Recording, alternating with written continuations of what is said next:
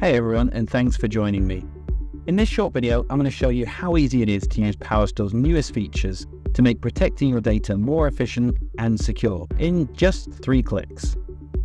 Safeguarding your most mission critical data has never been more important than in today's ever changing business landscape. But with a myriad of tools out there, it can be easy to become a bit overwhelmed by complexity. That's where Storage Direct Protection from Dell Technologies comes in. Storage Direct Protection allows you to back up your data from a PowerStore straight to a PowerProtect, to a Data Domain, or to software defined protection storage in the cloud. And best of all, it can be done simply and easily in just a few clicks. Let's go ahead and check out how. Let's go ahead and make a start by connecting the two appliances, which can be done in just a few seconds in PowerStore, simply from this Remote Systems window. Once that's done, what we're going to do is go ahead and use the foundation for data protection in PowerStore, which is a protection policy. And a protection policy can contain any combination of snapshotting, remote replication, or remote backup. We already have a couple here created, but what we're going to do is create a new remote backup rule, which is going to allow us to backup data to our newly added system, which we added in the previous step.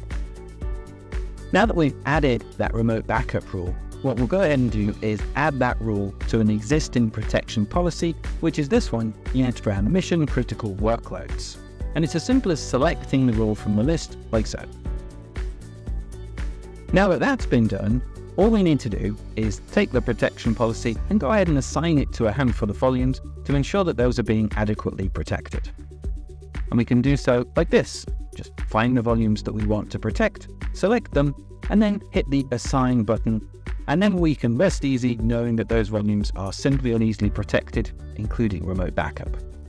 But if we want to, at any time, we can do a manual backup as well selecting the backup session and then hitting the backup button that we have here. This will force a backup immediately, which is handy if there's any upcoming major changes in the environment.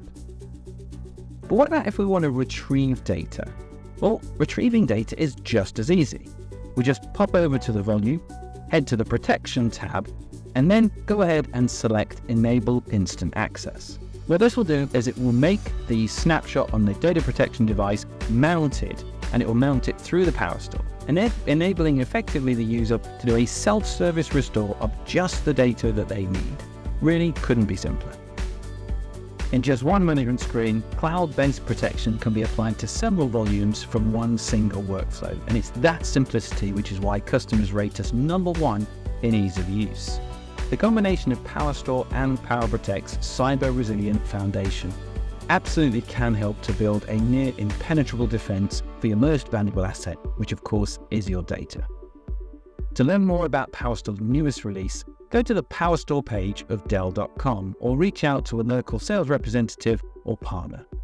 Thanks for watching. Look forward to seeing you again soon.